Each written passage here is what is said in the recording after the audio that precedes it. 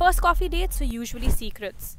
I was in 12th grade, about 16 years old, when I agreed to meet up over coffee. He was older than me, had just started college, so he knew a lot about coffee and he knew what he wanted to order. Me, on the other hand, a complete coffee noob, was thrown off my game. My friends had told me to order Americano to look cool and mature. I thought that if the date didn't work out, at least I had enjoyed some simply great coffee. But what I didn't expect was a cup of black, bitter, flavored water, which I definitely did not enjoy. Fast forward to five years later, here I am working at a coffee company where I've learned so much about different types of coffees, grind sizes, brewing techniques, and much more. This is also the place where I've grown to love black coffee. It's my go to drink now on most days. And in case you're wondering how was my date, one of a kind. So great that we never met again.